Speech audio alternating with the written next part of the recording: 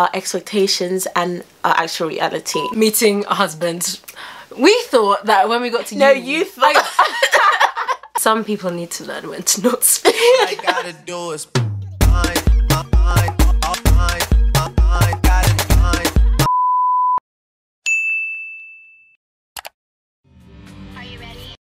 hey guys, welcome back to my channel. I'm here with my best friend Christine. Hi guys. Introduce yourself. Um, so my name is Christine and I'm also in my third year doing medicine at Cambridge Yeah. University. But this year we're both doing psychology, mm-hmm. and we met on the first day of lectures. Yeah. I saw her and I was like, that girl. black. so today we're going to do a very interesting and honest mm. video, our expectations and our actual reality mm. of studying in Cambridge. So let's go. So number one, um, meeting a husband. We thought that when we got to No, uni, you thought. I thought Yeah. that when I got to uni, like I didn't think I was just gonna. I didn't think I was gonna meet him immediately. Yeah. However, I did think that at some point, you know, at least there'd be some potential, but there just isn't. there is not. No, and it's just quite sad. But you It's know, unfortunate. But there might be. There are lots of hidden people here though. They're a bit too hidden from me because I don't know where they are. um, Yeah. If you're watching this, can you just reveal yourself? Thank you. So meeting a husband, did I think it was never like it was a, like I hope it happens. But not even a husband, like at least a potential. Like I hope it happens, but I don't have high hopes. I just didn't have high hopes. Things I thought I had my expectations kind of low. Then I got here and I was like, oh The bar is in hell. It actually is. It genuinely is. But God's timing is always right, you know. God's timing is always right.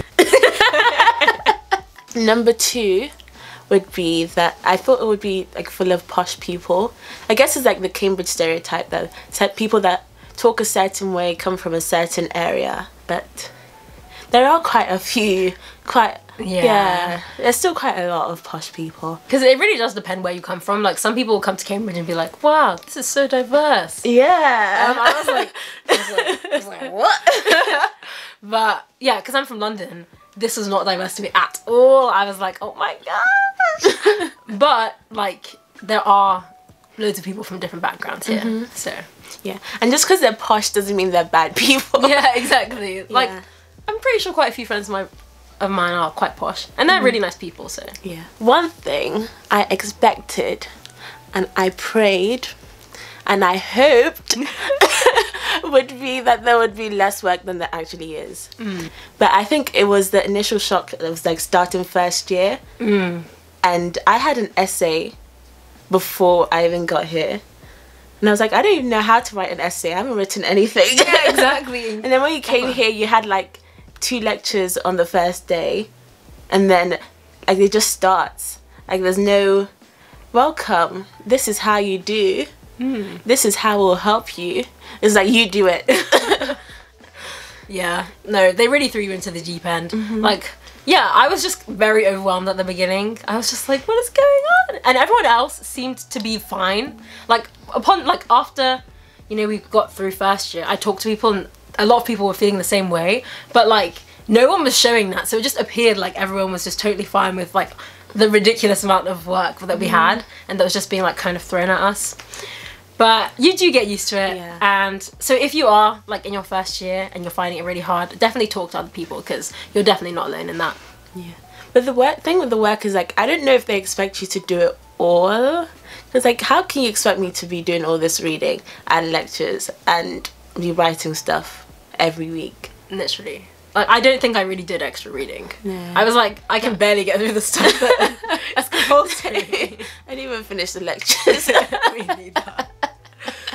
Uh, I definitely got to exams and I was like, some of this stuff it's just not gonna be learned, and that's okay because you can't learn everything. First year exam time, I was like, wow, this is actually interesting. I was like, wow, this makes so much sense. I was like, once you understand how Yeah. everything comes together, it's like, Mm-hmm. it's like, oh my gosh, this is so uh, cool. Knowledge. But during time, I was like, I don't know what's going on. Mm-hmm. But you find like even though you have lots of work, you always find like ways to procrastinate. Mm-hmm. No matter how much work you have, like every stage of education that I've like progressed through, I'm like, okay, I'm gonna be totally on top of it. I'm not gonna procrastinate. I'm gonna do everything early. No, no. In my third year, and I'm, as in, if my future employer is watching this, I am super organized and Yeah, everything. she's very diligent. Yes, but we are in a pandemic. so, you know, sometimes doing work is harder. And I think mm-hmm. it's okay to acknowledge that. Yeah. Hi, me. so, number four. I thought that when we got here, there would just be, you know, the stereotype of a Cambridge student or an, like an Oxford student, just that there'd be like geniuses and people who just like know it all. And they'd be maybe kind of stuck up and kind of arrogant. Mm-hmm. But when I got her, I, to be honest, don't really know many people like that. Like, if there are geniuses here, Yeah. they're in their room studying. So I haven't even had a chance to really interact with them. I even think like the genius geniuses aren't in their room too much. Like those are the ones that are always in Cindy's or were. Now Cindy's is died, R.I.P. So sad. so sad. Yeah, but I, I think like those are the ones that were always in Cindy's because they could, they had it easier. Mm-hmm. But then there were also people that are always in their rooms as well. Mm. So it's a real mix. There is. And I think like especially like the ones that are always studying, those they stand out. yeah. So it's not like the whole of Cambridge is full of geniuses, and then if you're not doing work, Mm-hmm. then you're the one that stands out. I feel like a lot of the medics are like regular people. Like they're smart and everything, but they're not like a genius. Yeah. At least mm, I think. Sorry if we Yeah, sorry if I insulted offended you. you. you were a genius. and that goes on to our other point of I thought, and you probably thought that there would be no or like less social life, but Cambridge has a quite a large. It has a big partying and drinking Mm-hmm. culture. like yeah, but people do.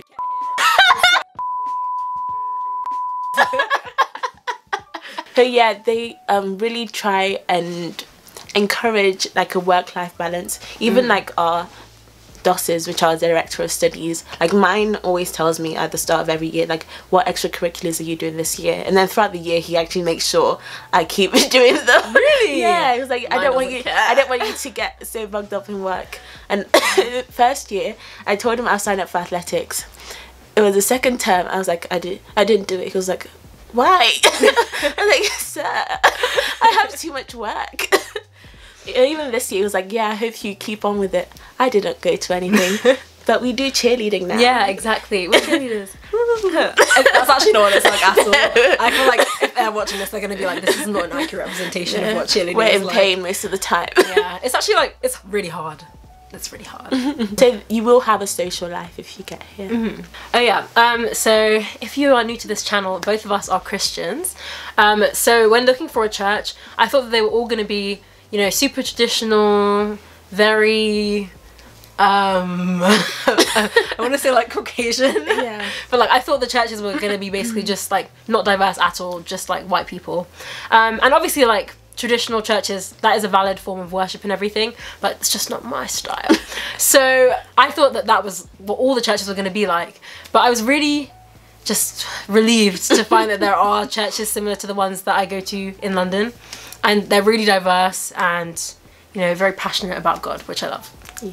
I actually did go to like I visited like all the not all of them, but most of the different churches. And then when we finally found Kingsgate, I was like was like, Thank you God.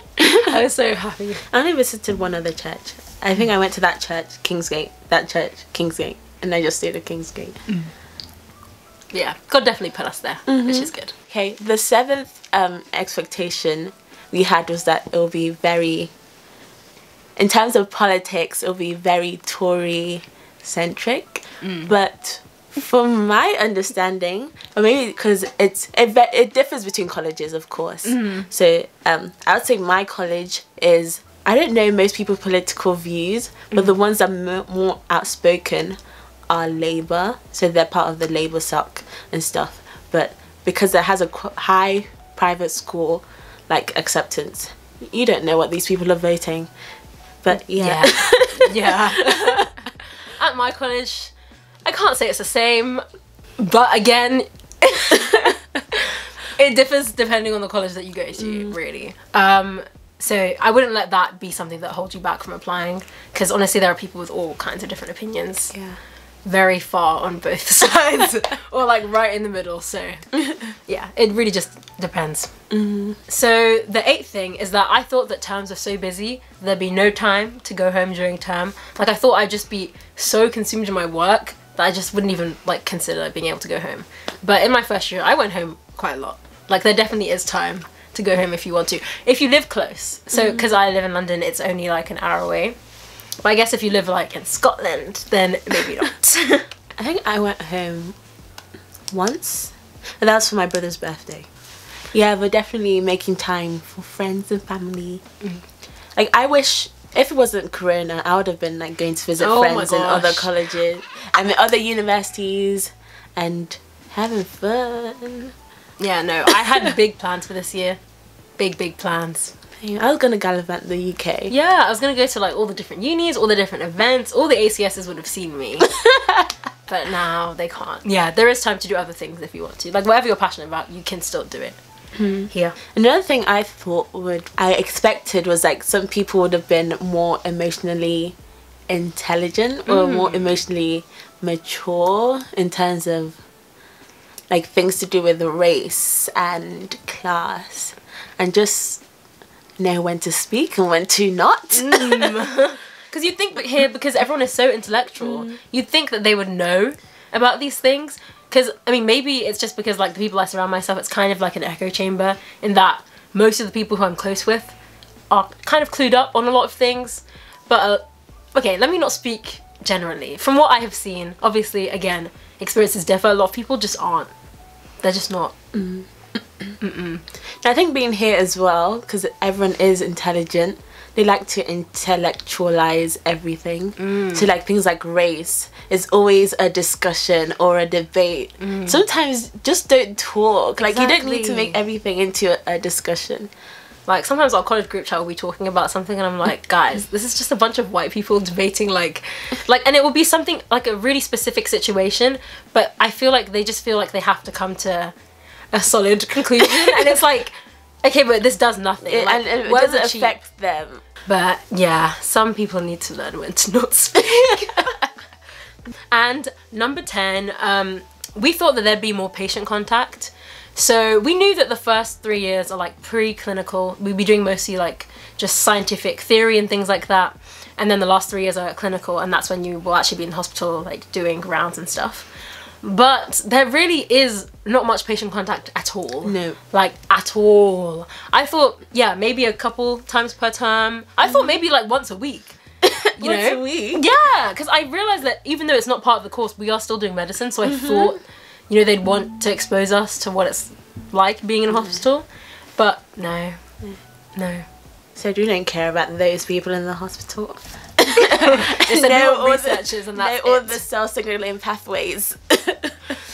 Uh, yeah, like if someone collapsed on the street, I wouldn't know what to No. do. No, we haven't even learnt first aid.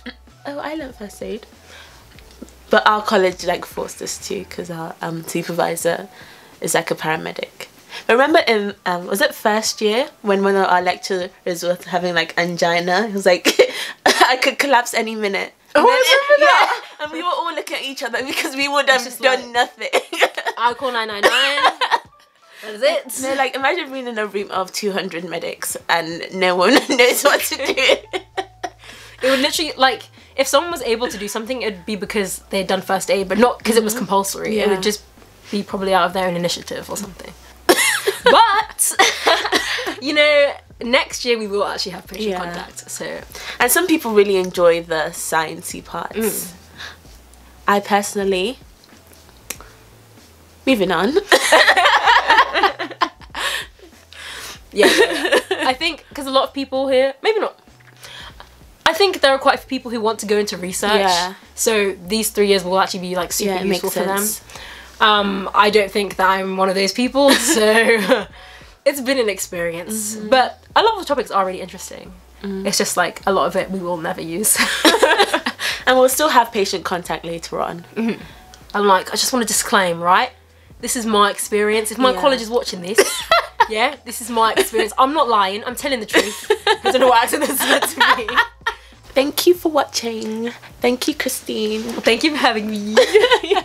Also, Christine has a YouTube channel I do. that she hasn't posted on since first year, but she will post. I will post. I filmed a vlog at the beginning of this term.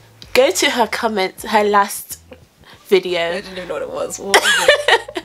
Go to her last video. And Yeah. make sure you like this video, make sure you comment, Yeah. and make sure you subscribe to her channel. share with your friends, mm. your family members, your MCM that doesn't like you. Okay. Oh my God. Thanks for watching. Bye.